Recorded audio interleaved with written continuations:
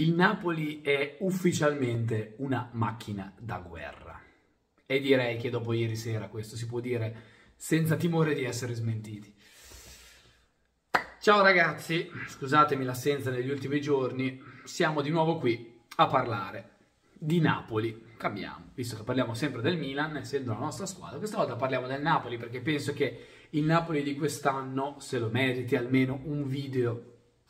insomma, a parte, dedicato per la straordinaria stagione che sta facendo. E la vittoria con l'Eintracht di ieri è, eh, è solo, diciamo, l'ennesimo, l'ennesimo successo di una stagione finora praticamente perfetta.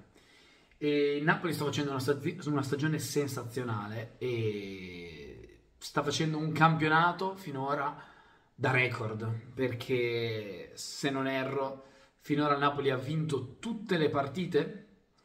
ne ha pareggiate soltanto due e ne ha persa una. Le due pareggiate, le ha pareggiate tra l'altro consecutive verso l'inizio del campionato, credo un pareggio con Lecce, un pareggio per 0-0 con la Fiorentina e 1-1 con Lecce, se non ricordo male, quando veniva da un inizio di campionato con 3-4 vittorie di fila, poi ha fatto questi due pareggi,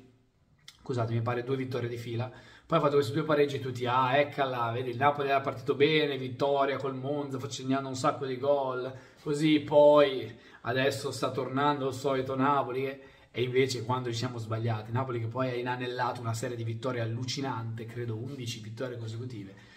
per poi tornare alla sconfitta solo a inizio 2023 contro l'Inter, in una partita dove il Napoli va detto non giocò particolarmente bene, però insomma aveva di fronte un grande avversario, l'Inter che forse, forse la, la seconda squadra più forte di, di questo campionato, perlomeno i numeri ad oggi dicono questo perché l'Inter è secondo, quindi la seconda forza di questo campionato, ci può stare una sconfitta. E, e, insomma, tutti in quel periodo, me compreso, nel periodo prima del mondiale, subito dopo il mondiale, pensavamo, ok, adesso c'è la sosta per il mondiale, magari Napoli potrebbe avere qualche difficoltà una volta ritornata dalla sosta per i mondiali, perché comunque giocatori che vanno ai mondiali non sai come tornano, eh, si, si, diciamo, si mm, perde quell'abbrivio no, di, di, questa partenza lanciata, queste vittorie consecutive, stava facendo benissimo il Napoli, magari interrompersi per un mese e mezzo potrebbe farli ripartire con qualche certezza in meno. E la sconfitta con l'Inter al rientro, diciamo, in campionato dopo la sosta, lunga sosta per i mondiali, lasciava un po' intendere questo, nel senso il Napoli non giocò benissimo, perse quella partita con l'Inter e, e, tutti quanti pensavamo, ah ecco, vedi, adesso, dopo questa straordinaria stagione, il Napoli al ritorno al mondiale, come avevamo pronosticato, comincerà insomma a perdere qualche colpo poi le altre squadre dietro potranno recuperare. Ovviamente io da milanista eravamo secondi, quella giornata vincemmo con la Salernitana, andammo a meno 5 dal Napoli, cominciai un po' a farci la bocca buona, a dire ok dai 5 punti, se adesso il Napoli perde qualche altro colpo e noi facciamo il nostro, Chissà, magari si può provare a lottare in questo campionato, che, che finora è stato saldamente nelle loro mani.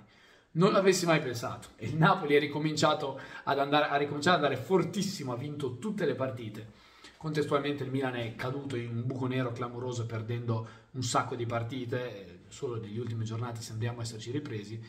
Quindi insomma, ormai noi il calendario, le, il calendario, lo scudetto lo vediamo con il binocolo. Ma eh, qua parliamo del Napoli, Napoli che veramente tornata a vincere tutte le partite, mentre appunto le altre squadre hanno perso colpi, non solo il Milan ma anche l'Inter, la Juve è stata pure penalizzata, fatto sta che attualmente il Napoli ha un vantaggio sulla seconda impensabile, impensabile, 15 punti sull'Inter è, è un qualcosa di inimmaginabile, e, insomma credo di non... Eh, rovinare la giornata a nessun napoletano, che so che in genere sono un po' scaramantici dicendo che il Napoli quest'anno vincerà il campionato proprio come si dice, col cigarro, no? nel senso con una scioltezza, con una tranquillità unica. E a memoria, da, da, quando io seguo il calcio, un campionato dominato così tanto non lo ricordo, ma neppure dalla Juve dei 102 punti di Conte. Cioè, quella Juve dominò il campionato, però fino fino a metà del campionato, fino diciamo a metà del giorno di ritorno,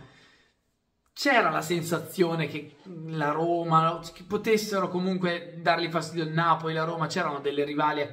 che non sembravano a livello della Juventus in quegli anni, ma diciamo erano comunque sempre abbastanza vicine a livello di punteggio. Poi nel finale, insomma, queste squadre calarono un po', la Juve anche lì inanellò tantissime vittorie consecutive, andò a dominare il campionato, a vincere con tantissimi punti di vantaggio. Ma proprio qui il Napoli da inizio del campionato ti dà l'idea di giocare un altro calcio, proprio di essere di un'altra categoria.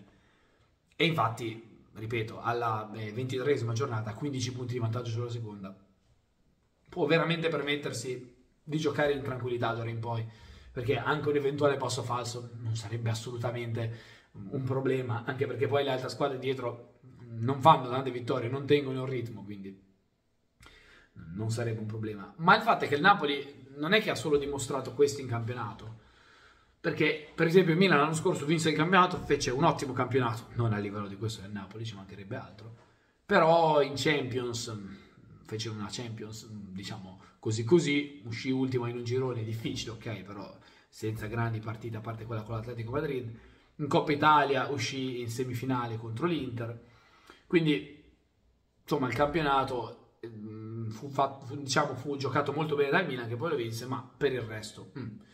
Il Napoli quest'anno ha fatto una Champions finora fenomenale, è un girone difficile comunque perché con Rangers ok, ma Ajax e Liverpool sono due grandi squadre. E il suo girone l'ha dominato il Napoli. L'ha vinto vincendo tutte le partite, perdendo solo l'ultima ad Anfield 2-0 con Liverpool in una partita tra l'altro ben giocata dal Napoli che non meritava quella sconfitta secondo me, meritava almeno il pareggio in quella partita. E, e adesso la vittoria con l'Eintracht che probabilmente, anche se ancora c'è da giocare il ritorno, proietta il Napoli ai quarti di finale di Champions League tra le migliori otto d'Europa per la prima volta nella storia quindi insomma un risultato straordinario anche facciano le i tifosi del Napoli dovesse fermarsi e poi eventualmente ai quarti eh, la Champions del Napoli sarebbe comunque un risultato straordinario, visto che appunto è la prima volta, sarebbe la prima volta per il Napoli tra i migliori otto. Se proprio vogliamo trovare un neo alla stagione del Napoli, la Coppa Italia, dove effettivamente eh, uscire agli ottavi di finale contro la Cremonese è stata una cosa che nessuno si aspettava. Lì forse il Napoli ha peccato un po' di presunzione, Spalletti, perché ha fatto un ampio turnover, magari presupponendo che comunque si potesse vincere tranquillamente contro una Cremonese ultima in Serie A che non aveva mai vinto una partita. Cremonese che invece in Coppa si, si è dimostrata una squadra valida, temibile, tant'è che poi ha battuto anche la Roma ai quarti di finale, si è qualificata in semifinale, quindi lì bisogna fare i complimenti alla Cremonese ed è forse appunto l'unico neo finora della stagione del Napoli, che per il resto appunto è straordinaria. Poi certo, se poi vogliamo cercare l'ago nel pagliaio, possiamo dire che è vero che il girone di Champions era difficile, ma è vero anche che le squadre che ha affrontato nel girone di Champions non vivono la loro miglior stagione. L'Ajax è abbastanza indietro eh, nel campionato olandese, quando invece l'Ajax è sempre a dominare il campionato olandese. Quest'anno fa, eh, fa molta, molta difficoltà. Ha perso prendendo 5 gol dal Volendam qualche giornata fa. Quindi, insomma, non vive una stagione straordinaria. Il Liverpool stesso, pur essendo una grandissima squadra, quest'anno nella Premier sta faticando tanto, anche solo per cercare di, di ottenere uno dei primi quattro posti eh, per la prossima Champions League non è neanche detto che ce la farà ad arrivare ai primi quattro, anzi mi azzardo a dire che potrebbe non farcela. E anche in Champions ha perso appunto con Real Madrid 5-2 nell'ultima negli ottavi di finale. Quindi ecco potremmo provare a dire ok il Napoli ha affrontato grandi squadre ma che non affrontavano la loro migliore stagione. Però il Napoli le ha, le ha dominate il Liverpool ha vinto 4-1 con l'Ajax 6-1 cioè quindi secondo me le chiacchiere stanno a zero. Ora l'Eintracht non sarà uno squadrone, però comunque viveva un buon momento, eppure è stato dominato dal Napoli che ha vinto ben più di quello che diceva il risultato, ben più di quel 2-0 che si vede nel tabellino. Quindi la domanda che voglio pormi alla fine di questo video è: ma il Napoli dove può arrivare quest'anno? Perché che vincerà il campionato per me è scritto e già sarebbe straordinario. Ma in Champions, insomma, io pensavo ai quarti potesse arrivarci e penso ci arriverà. Ma a questo punto, non solo vedendo il Napoli, vedendo il Napoli ma vedendo anche le altre squadre, secondo me i tifosi napoletani possono sognare anche qualcosa di più. Ora non dico necessariamente vincerla, perché comunque per vincerla eh, devi sfidare le squadre più forti d'Europa, vincere e deve anche andarti bene, ecco, non è solo una questione di valore della squadra, di gioco della squadra. Però voi vedete tante squadre molto superiori al Napoli, c'è lo stesso Paris Saint-Germain che sulla carta è sicuramente superiore al Napoli, sta vivendo un momento di crisi importante. In Ligana ha perso diverse partite, l'ultima l'ha vinta in maniera rocambolesca agli ultimi minuti col, con il Lille, mi pare, la stava perdendo, quindi anche il PSG visto col Bayern ha lasciato un po' desiderare. Il Bayern in Europa è uno squadrone, finora quest'anno le ha vinte praticamente tutte. Però in campionato ha lasciato un po' desiderare, anche il Bayern ha dimostrato di non essere proprio una squadra infallibile. Le altre in Europa, tolte le italiane, le altre che potrebbero andare avanti, ok, il City è fortissimo, forse quella è l'unica vera minaccia, però anche il City in Premier quest'anno qualche colpo l'ha perso ogni tanto, tant'è che è lì a lottarsi la testa con l'Arsenal, quando in genere il City domina la Premier eh, dall'inizio alla fine, eh, tant'è che negli ultimi 4 anni ne ha vinte 3 di Premier.